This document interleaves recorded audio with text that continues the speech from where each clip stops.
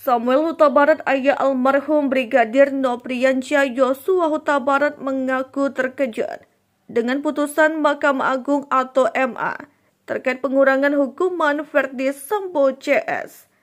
Samuel Huta Barat terkejut lantaran tidak mengetahui adanya persidangan kasasi di Mahkamah Agung. Ia justru mengetahui kabar tersebut dari awak media yang menghubunginya untuk meminta tanggapan. Sebagai informasi, Verdi Sambo lolos dari pidana mati menjadi seumur hidup.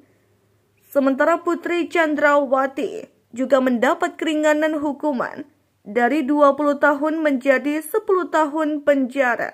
Hukuman terhadap Riki Rijal turut disunat dari 13 tahun menjadi 8 tahun bui. Sementara itu, Kuat Maruf mendapat keringanan hukuman dari 15 tahun menjadi 10 tahun penjara. Begitu kami dengar bahwa putusan Mahkamah Agung, hukuman Verdi Sambo dikurangi menjadi seumur hidup. Ini ibarat petir di siang bolong, ujar Samuel. Kami sangat terkejut mendengarnya.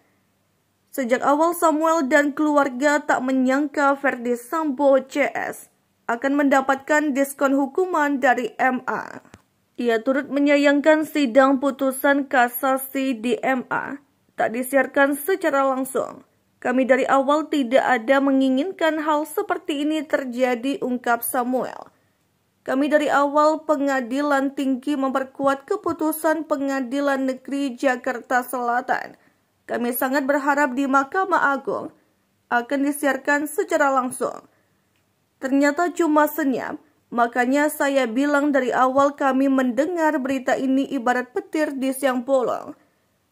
Tidak ada awan, tidak ada angin. Ada petir bahwa Verdi Sambo sudah dikurangi hukumannya tandasnya.